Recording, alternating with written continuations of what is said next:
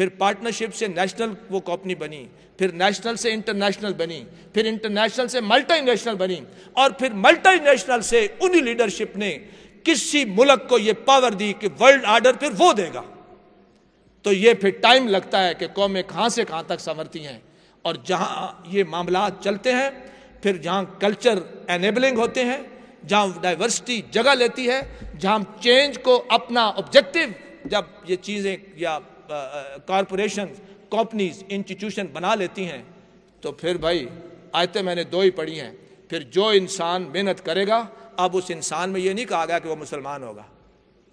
कोई भी दुनिया का इंसान लई इंसान अल्लाह मासा वो जो भी मेहनत करेगा और फिर इंसानियत की बेस पे करेगा इन्फ्लुएंस करते हुए करेगा परसुएट करते हुए करेगा पीएन को भी बुलाएगा तो डिग्निटी के साथ बुलाएगा और उसका पसीना खुशक होने से पहले उसकी सैलरी भी देगा। तो फिर उसकी लीडरशिप ऑफकोर्स क्रिस्मेटिक होगी।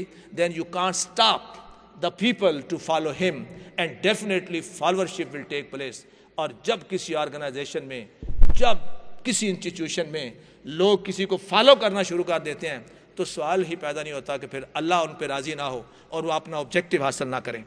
और फिर आता है इसके लिए that of course strategic leadership in managing what two things crisis and changes change लाना कभी कभी मुश्किल नहीं होता, उसको सस्टेन करना मुश्किल हो जाता है। उसको मैनेज करना मुश्किल हो जाता है। क्राइसिस का होना ही तो तुम्हारी लीडरशिप को ऊपर लेके जाता है। क्राइसिस नहीं होते तो इसका मतलब यह भी है कि तुम कोई डाइवर्सिटी को नया काम ही नहीं कर रहे। जो, क्योंकि चेंज हमेशा रेजिस्टेंस रखती है। आप जब भी चेंज लाओगे तो रेजिस्टेंस विल बी देयर क्योंकि लोगों को पता नहीं होता, वहाँ क्रिटिसिज्म भी होगा। और जब क्रिटिसिज्म आता है तो उसको एक्सेप्ट करो। So strategic leadership has this quality and that should be there that if there could be a crisis और if there could be any change तो of course effectively that should be manage and these all the three levels which I discussed with you that individual as a leader and number two team leader and number three an organisational leader कहा करता हूँ कि थोड़ा सा formality से हट के भी कुछ चीज़ें हमारे जहन में आनी चाहिए। सपोज़ एम्फिसिस और फोकस ऑन किस पे रखना है? अच्छा लगे तो ठीक है, वरना। Number one beyond the call of duty ज़रूरी नहीं है कि आपकी ड्यूटी थी साढ़े तीन बजे। कोई बंदा अगर तीन बज के इकतीस मिनट में आपके कमरे में दाखिल हुआ और वो बड़ी दूर से आया और आप उसे यह कह दें, जनाब द टाइम इज़ ओवर अब मैं जा रहा हूँ. नहीं।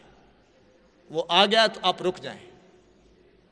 जब आपकी ड्यूटी शुरू होगी, अपने असल काम से आगे तो उसको हम कहेंगे कि no the humanity is going up आपकी इंसानियत, आप कमाल पे जा रही है कि साढ़े तीन बज गए, लेकिन कोई बंदा आ गया है। आपने कहा, नहीं, मैं रुक जाता हूँ और मैं इसके लिए काम करूँगा। और इसको कहते हैं beyond the call of duty और यही तुम्हारा टेस्ट होता है। और वो तो आपने काम किया तनख्वाह के लिए। अब जो आप काम करेंगे, ये आपके क्रेडिट में जाएगा। और वो बंदा जिसने फिर शायद आपको ज़िंदगी में ना मिले, वो सारी ज़िंदगी तुम्हें याद नहीं करेगा। तुम्हारे जेन में वो आए या ना आए, तुम उसके जेन में हमेशा कितने रहोगे। और अब तुम गुनाह कर रहे हो, अब तुम्हारे में कमी आ रही हैं वीकनेसेस आ रही हैं। जब तुम उसे याद आ रहे हो, चाहे वो काबे में बैठा है, चाहे वो मस्जिद में बैठा है, चाहे वो घर बैठा है आपने उसको टाइम दिया था, अपने टाइम के बाद। वो ज़रूर ज़िक्र करेगा कि अगर वो बंदा ना बैठता तो मेरा ये काम ना होता, अल्लाह उसे खुश रखे। आप जहाँ भी होंगे तो सदका जारिया कभी कभी यूँ भी जारी होता है। आपके लिए ज़रूरी नहीं है कि आप लोगों को पैदा कर दें और आप कहें कि you are my student and मेरे लिए दुआ करते रहना। नहीं कभी कभी दुआ उस उस उस उस मामला का हिस्सा बन जाता है कि अल्लाह ने, और बल्कि मैं तो कहा करता हूँ, आप शुक्र किया करें कि मेरा टाइम ख़त्म हुआ, एक बंदा आया, मैं उसके काम आ गया।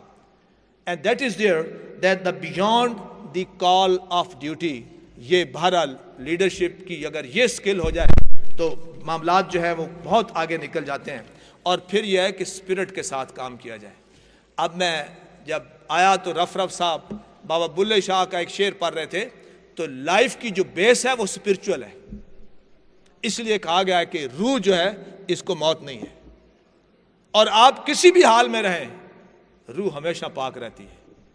तो हम वैसे हम लफ इस्तेमाल करते हैं, पूरी वर्ल्ड में लफ इस्तेमाल होता है।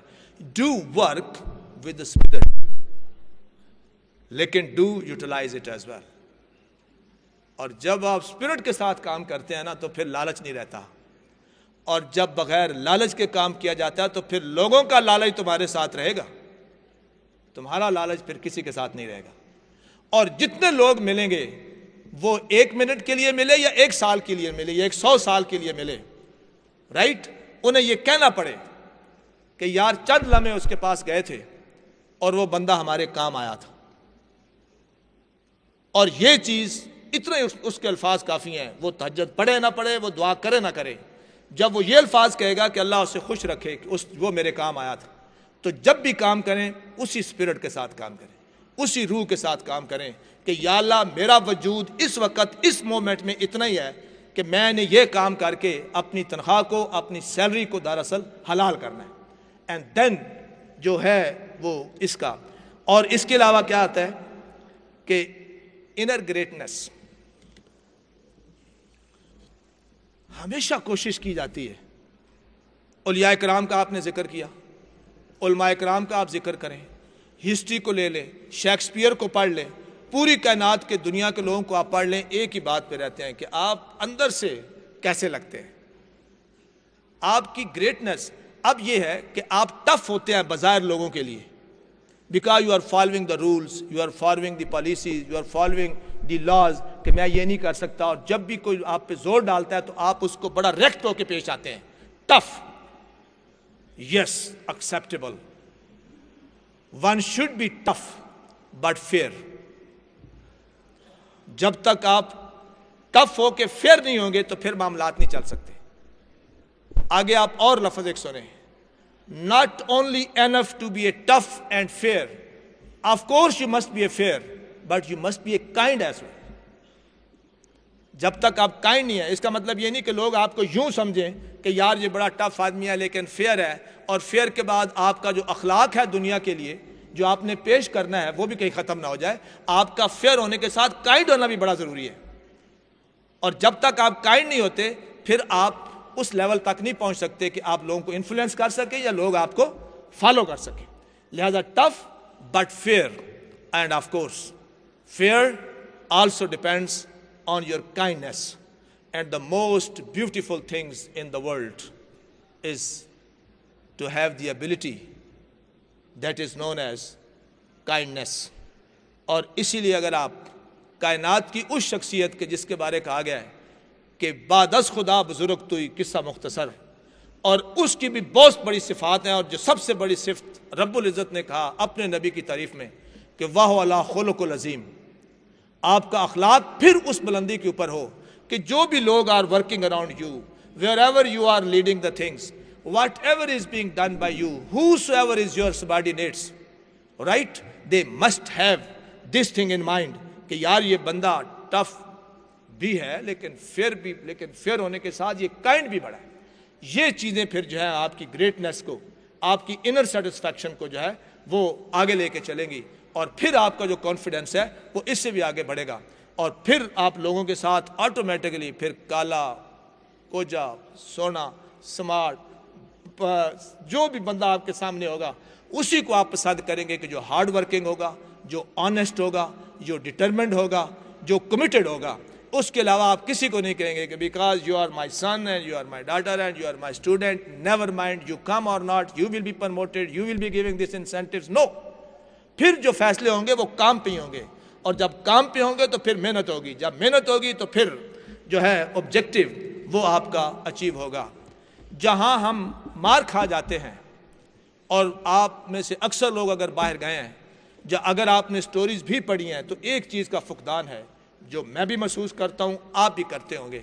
खुदा ला इसको इसमें निकालें और मैं वो लफ़ इस्तेमाल करता हूँ trust do trust others and effect of trust will give you a very effective and fruitful outcome कोई बंदा किसी भी किस्म का हो, जब वो आता है तो वो आपसे जो भी बात करता है, उसके ऊपर ट्रस्ट ज़रूर करें। फिर आप उसको जज करें। फिर आप उसको एनालिसिस करें। एक दफ़ा उसके ऊपर ट्रस्ट करने के बाद, अगर वो फिर उस पर पूरा नहीं उतरता तो फिर you have the right to say कि हमारे यहाँ मसला यह है कि आने वाले को पहले ही शक की निगाह से देखते हैं। कि यार तुम नहीं